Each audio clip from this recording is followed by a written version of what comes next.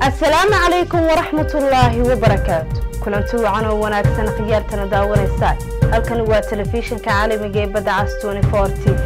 Xarunta uu ku leeyahay magaalada hargeysa.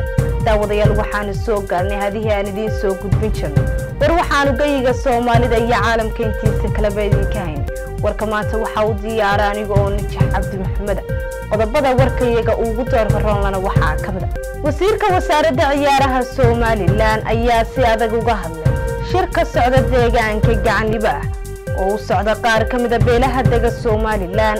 Deegaanka xog faraasa galbeedka somalilan ayaa fooda u saaran inay dagaal ka dhex dhaco iyaga oo laba beelood oo deegaankaasi degan ay colaada dhex taallo dowladda iraaq ayaa dishay labiyo toban maxbuus isaga oo markaasi bixiya ra'iisul wasaaraha waddankaasi.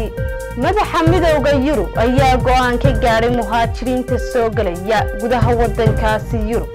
Daawadayaal intaasi waa qodobada iyada warka ugu doorka roone iminkana waxaad ku soo dhowaataan iyagii oo fidsan